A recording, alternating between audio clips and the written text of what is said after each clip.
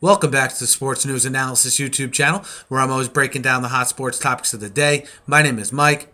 I'm continuing my Around the League uh, NFL divisional videos here for Saturday, March 23rd. Guys, I do a video like this for every division uh, every day, so be sure to check out the other divisions uh, if you're interested, and be sure to subscribe to get all of my videos um, uploaded uh, directly to your inbox here on YouTube. Uh, just always providing you with analysis and opinion of uh, the big news of the day regarding your favorite team. the first in the AFC South, a story that's sort of stayed in the news here for the better part of the week is the Titans signing of Shonn Greene, Mike Munchak coming out and saying he thinks Greene's going to have a significant role uh, in the offense. He wants him to have a significant role in the offense.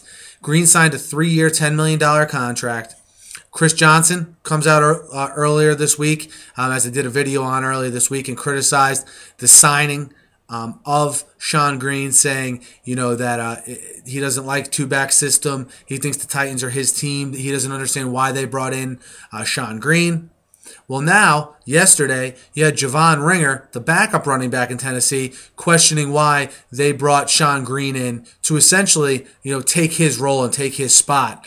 Uh, and, you know, it's Chris Johnson and Javon Ringer and the Titans as a whole. You know, if your team you know, was so good, there wouldn't be the need for the coaches to bring in competition to compete with you.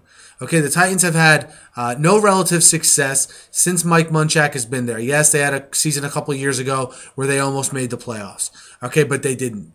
All right, and Munchak might be coaching for his job this year. Some people were even surprised he was retained uh, after some comments Bud Adams made in the middle of the season. Uh, you know, they're bringing along a young quarterback in Jake Locker. They need to have options running the ball. And if the organization thought bringing in Shonn Greene was going to upgrade or improve that position, then, you know, all these guys coming out being critical uh, and openly being critical doesn't speak well to the discipline they have in that organization.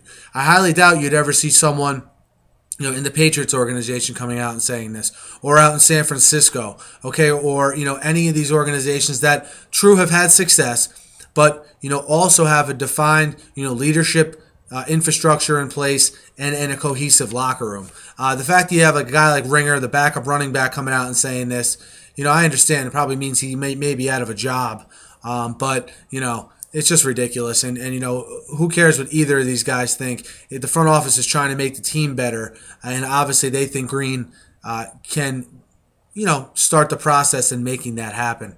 Uh, Jacksonville Jaguars next. You know, something I read the other day that really caught my eye.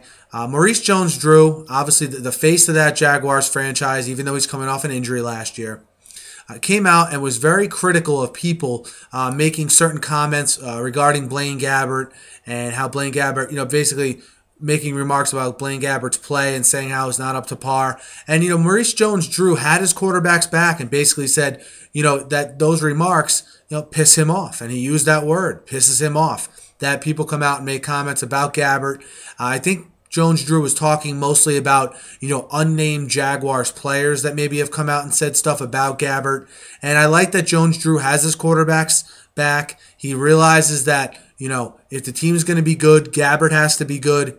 It'll make you know if, if Gabbert can improve his play, it'll make Jones Drew uh, you know a better player because they won't be able to crowd the box with eight guys. And uh, I like just in general Jones Drew having his quarterbacks back because it's easy when a young quarterback comes in uh, when he doesn't produce for everyone to just pile on him. And I like that you know Jones Drew came out in public and stood up for his guy there. Uh, you know, next as far as the AFC South goes.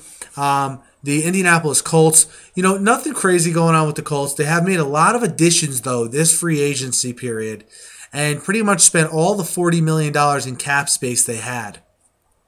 One thing, you know, I just wanted to get Colts fans' opinions on this. One thing I thought they should have took a long look at was, you know, if they were going to commit to spending money in free agency, uh, maybe looking at placing that first round tender on Victor Cruz and making him a very competitive offer.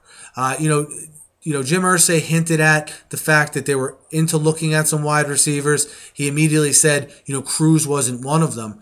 I thought that would have been a good move for the Colts, though. I mean, you get uh, Victor Cruz in there, obviously, uh, is a number one type receiver uh, to be able to you know, sort of work with Reggie Wayne for a couple years and obviously become the man when Reggie Wayne left. You give Andrew Luck a dependable guy on third down. Just think if, if they had the two tight ends they have, Allen and, of course, Coby Fleener, and then had Victor Cruz as another option down the field and also a third down option.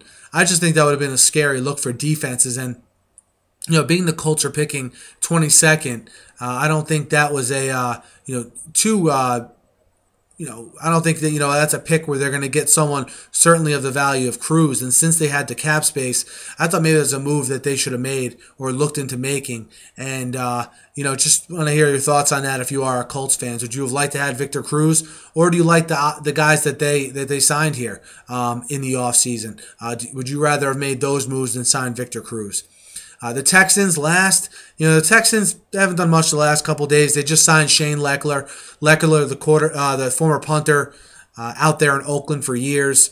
Uh, you know, played in Oakland uh, for about 10 seasons, I think, maybe even a little bit more. He had the same exact punt average that Donnie Jones had last year. Obviously, the Texans look at Lechler as an upgrade, the seasoned veteran coming in, uh, sort of coming back home. Remember, Lechler played his college football at Texas A&M. So uh, that's my rundown here uh, for the AFC South. Let me know what you guys think. Hit me up in the YouTube comments. Hit me up on Twitter at S News Analysis. And guys, I'm talking sports on here, doing these divisional videos every day. So be sure to subscribe. Thanks again for listening, and have a great night.